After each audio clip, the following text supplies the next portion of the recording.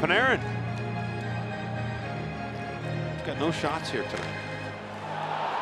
He has one now, and he's got a goal. The Jackets win the draw, and they go ahead. He's one for one. And that is perfect timing for Panarin.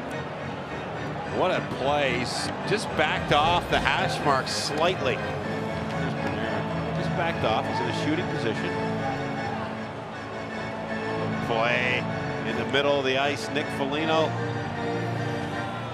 Ah, that's perfect. You can draw plays all day long and hope they work, but when they do, boy, that's a great feeling for the Blue Jackets. Two quick goals. They got their one goal lead.